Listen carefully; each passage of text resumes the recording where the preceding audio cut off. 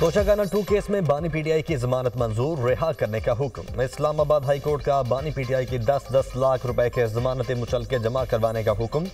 बानी PTI trial का हिस्सा बने, वरना जमानत मनसूख हो जाएगी, जस्टिस मियाँ गुल हसन औरंगज़ेब ने दलाइल सुनने के बाद फैसला सुनाया। बानी पीटीआई की जमानत मंजूरी का तहरीरी फैसला बाद में जारी किया जाएगा। ज्वेलरी सेट का तखमीना कैसे लगाया है? चालान में रसीद बुशरा बीबी की है या बानी पीटीआई की? अदालत का इस्तफसार बैरिस्टर सलमान सफदर ने कहा, चालान में रसीद पर बुशरा बीबी का नाम है। इनामुल्ला शाह को इस्तगासा ने गवाह बनाया है। वो वादा मुआफ गवाह नहीं।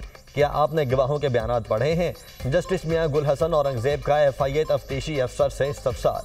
अठारह सितंबर को गवाहों को नोटिस किया था। गवाहों ने नैब को पहले से दिए बयान की तस्दीक की। गवाहों के बयान खुद पढ़े हैं। बलगारी सेट तोशा खाना में जमा ही नहीं करवाया गया। रियासत के तोहफे की कम कीमत लगवा कर रियासत को नुकसान पहुँचाया गया। बानी पीटीआई और उनकी बीवी दोनों ने फ़ायदा उठाया। एफआईए प्रोसिक्यूटर के दलाइल, बानी पीटीआई को कैसे फ़ायदा हुआ? जस्टिस मियाँ गुल हसन, औरंगज़ेब का इस्तफसार जब बीवी को फ़ायदा मिला तो शोहर का भी फ़ायदा हुआ।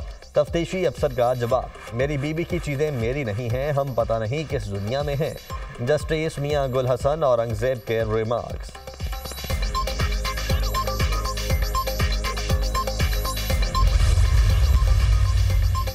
बानी पीटीआई की तोशाखाना टू केस में जमानत होने के बावजूद रिहाई मुमकिन नहीं। बानी पीटीआई पर पंजाब पुलिस ने चौवन मुकदमा दर्ज कर रखे हैं। लाहौर में बानी पीटीआई पर 21 मुकदमा दर्ज हैं। रावलपिंडी डिवीज़न में 19 मुकदमा शेखुपुरा सात, फैसलाबाद में पाँच मुकदमा दर्ज हैं। आईजी पंजाब ने बानी पीटीआई पर दर्ज मुकदमा की तफसीत की लाहौर हाई कोर्ट में जमा करवाई थी।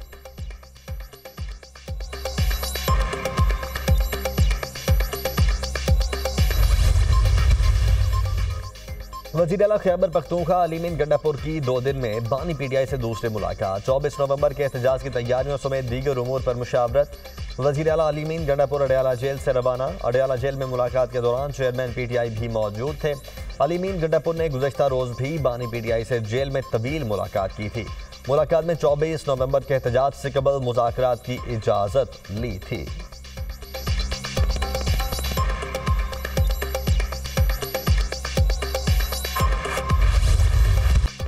बन्नू के इलाके मालिक खेल में खारजियों का मुश्तर चेक पोस्ट पर हमला, बारह जवान शहीद, फायरिंग के शदीद तबादले में छह खारजी जहन्नुम वासिल। सिक्योरिटी फोर्सेज ने खारिज की चेक पोस्ट में दाखिल होने की कोशिश को नाकाम बना दिया। चेक पोस्ट में दाखिले में नाकामी पर खारिज ने बारूद से भरी गाड़ी को चौकी की दीवार से टकरा दिया। बारूदी गाड़ी टकराने से बारह जवान शहीद, शहदा में सिक्योरिटी फोर्सेज के दस और एफ़ के दो अहलकार शामिल। धमाके के नतीजे में दीवार का एक हिस्सा गिर गया और मुलाहिका इंफ्रास्ट्रक्चर को नुकसान पहुँचा। इलाके में क्लियरेंस ऑपरेशन जारी। घिनौने फेल के मुर्तकब अफराद को इंसाफ के कटहरे में लाया जाएगा। हमारे बहादुर जवानों की ऐसी कुर्बानियाँ हमारे आज़म को मजीद मज़बूत करती हैं। I S P R.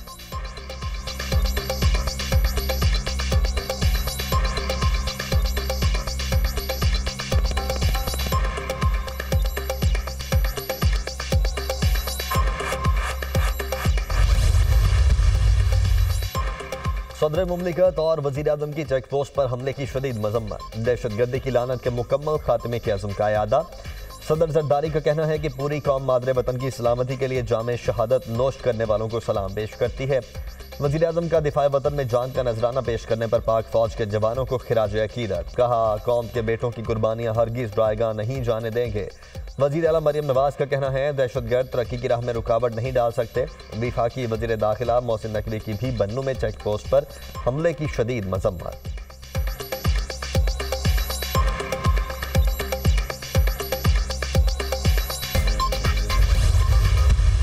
आप धरना अपने सूबे में दें। आपने प्रोटेस्ट करना है। तो आप अपने सूबे में प्रोटेस्ट करें। मतलब ये क्या कि एक सूबे को लड़ा दो दूसरे सूबे के साथ? पंजाब में क्यों कोई निकलेगा? पंजाब के लोग मतलब उनको अपनी तरक्की नज़र आ रही है, इसलिए नहीं निकलते। आप एक मुजरिम हैं, आपके ऊपर इल्ज़ाम हैं, आपके केसेस अदालत में हैं।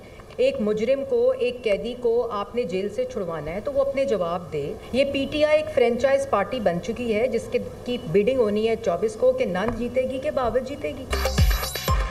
एहतजाज और धरना देना है तो अपने सूबे में दें। एक सूबे की इंतजामिया को दूसरे की इंतजामिया के साथ न लड़ाएँ। पंजाब के लोगों को तरक्की नज़र आ रही है। वो आपके लिए बाहर क्यों निकले? आपका लीडर अपने जुराइम और अमाल की वजह से अंदर है। आपके लीडर ने अदालतों में जवाब देना है। सीनियर सूबाई वज़ीर मरियम औरंगज़ेब की प्रेस कॉन्फ्रेंस।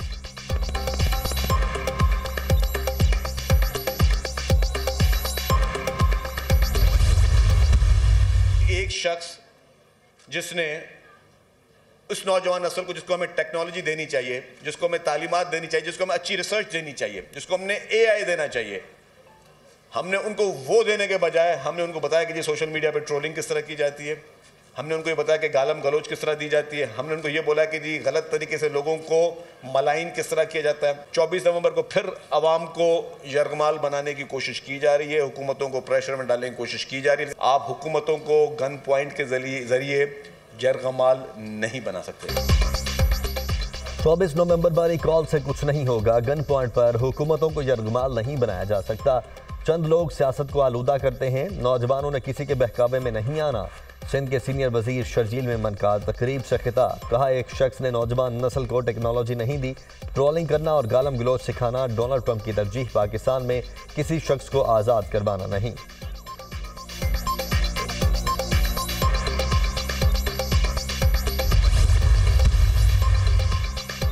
पीटीआई के मुतालबात गैर मनतकी और नाकाबिल अमल हैं। पीटीआई वालों से बात करना भी चाहें तो किस पर करें?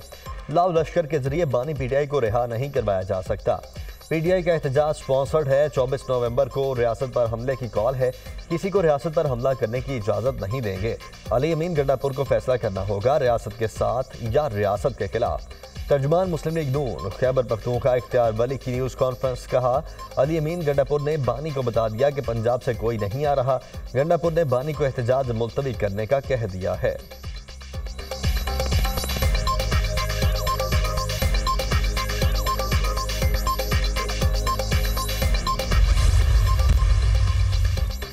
पीपल्स पार्टी ने बाबा तौर पर पार्लिमानी पब्लिक अकाउंट्स कमेटी की सरबराही मांग ली। पीपल्स पार्टी के सेनेटर सलीम मांडवी वाला का स्पीकर, कौमी असम्बली या सादिक को खत। पी एस सी अरकान की रेकोजेशन पर इजलास बुलाने का मुतालबा। स्पीकर के इजलास ना बुलाने की सूरत में पीपल्स पार्टी का खुद इजलास बुलाने का इंदिया मुस्लिम लीग नून का पी एस सी की सरबराही के लिए पीपल्स पार्टी की हिमायत का इशारा। तहरीक इंसाफ शेख वकास अक्रम को चेयरमैन बनाने पर मजीद स्पीकर, कौमी असम्बली ने पी एस सी की सरबराही के लिए तहरीक इंसाफ से नामों का पैनल मांगा। हुकूमत पर वादा खिलाफी के इल्ज़ाम chairman Peoples Party Bilawal Bhutto ने हुकूमत से मुजाकर के लिए नौ रुकनी कमेटी बना दी।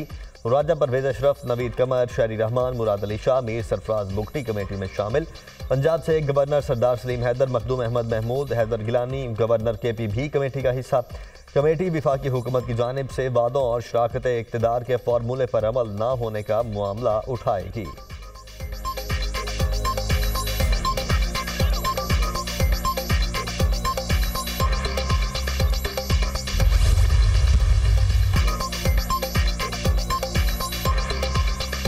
वजी दाखिला मोहसिन नकवी से सऊदी अरब के नायब वजी खार दाखिला की मुलाकात, बाहमी दिलचस्पी के उमूर और पाक सऊदिया ताल्लुक के फ़रोग पर तबादला ख्याल। पैरामिलिट्री फोर्सेज और पुलिस के बाहमी तबादलों और मुश्तर ट्रेनिंग के उमूर पर गुफ्तु इस्लामाबाद और रियाज को जुड़वा शहर करार देने की तजवीज़ पर सऊदी वज़ीर का इतफाक पाकिस्तान से भिकारियों को सऊदी अरब भिजवाने वाले माफिया की सरकोबी पर बातचीत। दोनों ममालिक कैदियों के तबादले के माहदे पर अमल दरामद पर इतफाक वज़ीर दाखिला मोहसिन नकवी ने कहा कि चार हज़ार तीन सौ भिकारियों के नाम ई सी एल में शामिल किए गए हैं। सऊदी अरब जाने वाले भिकारियों के खिलाफ ज़ीरो टॉलरेंस पॉलिसी अपनाई है। सऊदी शहरियों के लिए पाकिस्तान आने पर कोई वीज़ा नहीं, जब चाहें आए। उम्मीदवारों की मर्ज़ी है, सियासी जमात में शामिल हों या ना हों। आप हमसे गैर आइनी काम क्यों करवाना चाहते हैं? जस्टिस जमाल मदोखेल के रिमार्क। सुप्रीम कोर्ट आइनी बेंच ने सुन्नी इतिहाद काउंसिल को पार्लिमानी जमात करार देने के खिलाफ दरखास्त। रजिस्ट्रार ऑफ़िस के एतराज़ा बरकरार रखते हुए खारिज कर दी। जस्टिस अमीनुद्दीन खान की सरबराही में सात रुकनी आइनी बेंच ने समात की। सुप्रीम कोर्ट आइनी बेंच ने तमाम सरकारी अहदेदारों को बरतरफ करने की दरखास्त नाकाबिल समात करार देते हुए खारिज कर दी। आपकी सदा है कि तमाम सरकारी मुलाजमीन काम नहीं करते, उन्हें फारिग करें। आपने मुतल इदारों से क्यों नहीं रुजू किया? जस्टिस आयशा मलिक के रिमार्क्स कोई नहीं सुनता, इसलिए सुप्रीम कोर्ट आया। दरखास्त गुजार का मौकफ। जस्टिस आयशा मलिक ने कहा, इसका मतलब ये नहीं कि हर चीज़ लेकर सुप्रीम कोर्ट पहुँच जाएँ। जस्टिस जमाल मंदोखेल ने रिमार्क्स दिए, आपका कौन सा काम नहीं हुआ? अदालत को बताएँ। इसका क्या मतलब है? हम सदर वज़ीर अजम स्पीकर और पार्लियामेंटेरियन सबको निकाल दें।